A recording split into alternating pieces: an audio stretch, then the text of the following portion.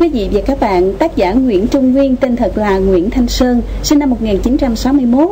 Anh là Phó Chủ tịch Hội Nhà văn thành phố Cần Thơ.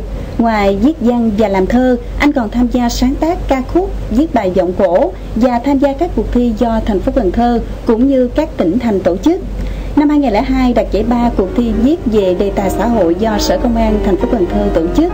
Năm 2003 đạt giải ba cuộc thi thơ đồng bằng sông Cửu Long.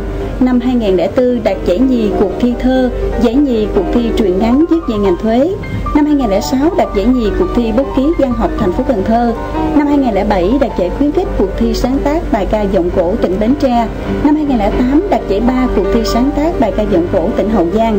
Và năm 2010 đạt giải ba cuộc thi viết giọng cổ tỉnh An Giang.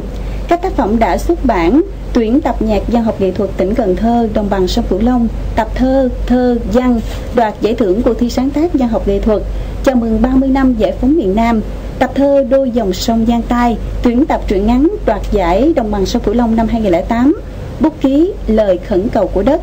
Diễn đàn văn hóa nghệ thuật kỳ này nhân kỷ niệm ngày sinh nhật bác, mời quý vị các bạn cùng thưởng thức bài ca cổ trong di chúc của người, sáng tác của Trung Nguyên qua sự thể hiện của Như Nguyệt.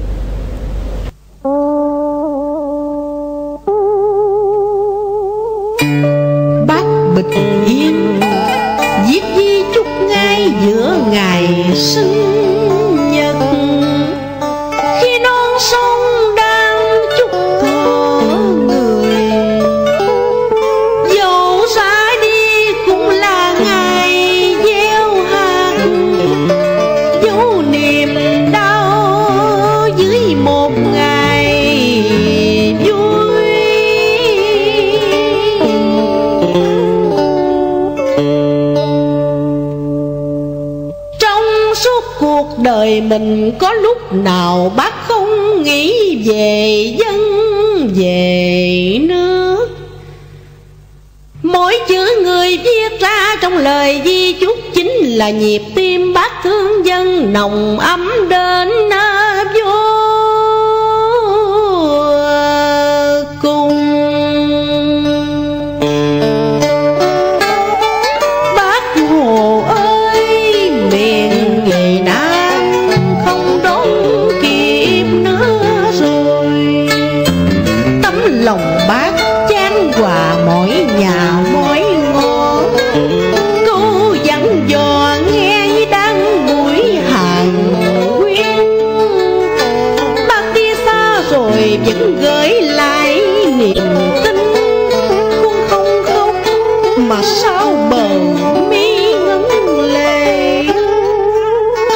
Lời bác viết như lời tâm sự.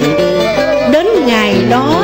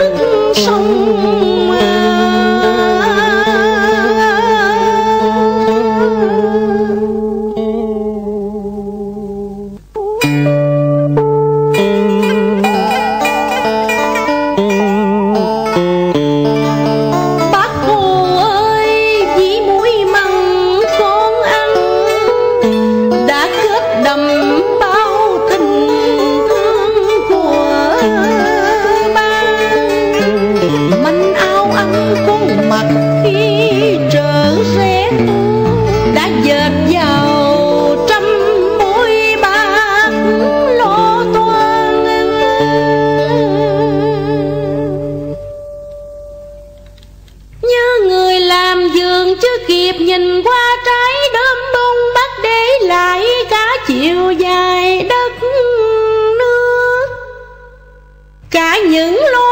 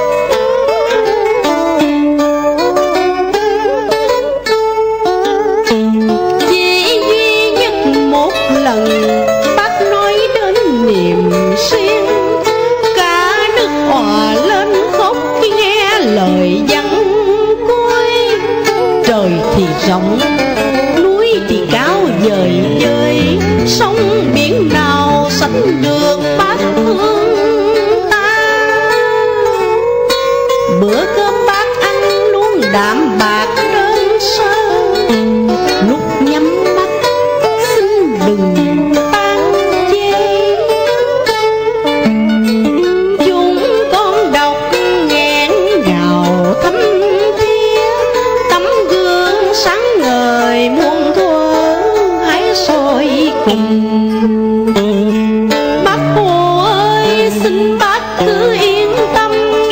Lời bác dặn chúng con xin nguyện ước mỗi giọt lệ thấm xuống dòng di chúc, một lời nguyện vang đến suốt mai sau.